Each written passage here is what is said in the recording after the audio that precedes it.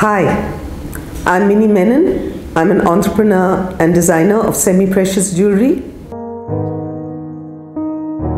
I started my professional career in advertising. I spent 18 years in the business. My job was to build brands, manage people, and run a profit center.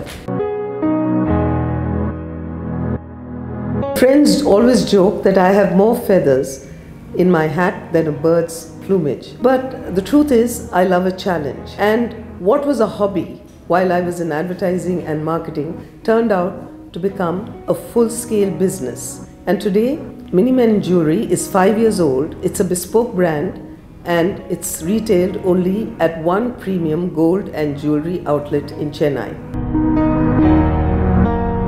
A lady I admire. That's Indra Nooyi, the former global chairman of PepsiCo. She was married, she had children, and she had this huge, huge responsibility of running this corporate.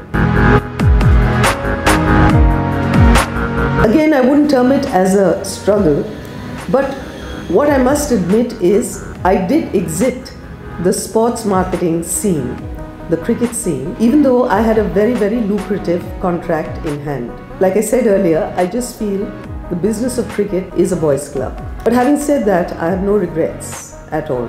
I just look forward. My strengths are my tenacity. When I focus on something, I strive to make it happen. I like to work at zero error. My daughter always says I have the energy of a five year old. I would urge all women to ensure that they get some sort of a independent financial income. And today it's not difficult. It's so easy to earn even while staying within the four walls of your home. The other point I would like to add is that women derive a lot of strength from each other. So bonding among women is extremely important in good times and bad. If I can, you can. This Women's Day, celebrate yourself and be you because there's nothing more beautiful than being yourself. Happy Women's Day. Thank you, Phoenix Market City, Chennai, for this wonderful initiative.